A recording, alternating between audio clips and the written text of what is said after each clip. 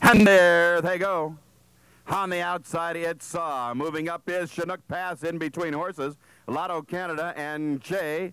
And trailing is My Omen. To the half mile pole at Chinook Pass on the lead by two lengths. Che is second by a neck. Nat Natchez Pass is third by a half a length. Then it is Saw, fourth by a length. Lotto Canada is a fifth on the inside by a head, and My Omen. Around the turn, it's Chinook Pass, drawing out by three lengths. Second is Che by two and a half lengths. Moving up again, here comes My Omen. Lotto Canada slips through along the rail, then it's Natchez Pass. Into the stretch, Chinook Pass has opened up a six-length lead. Che is second by a length and a half. Here comes My Omen and Lotto Canada.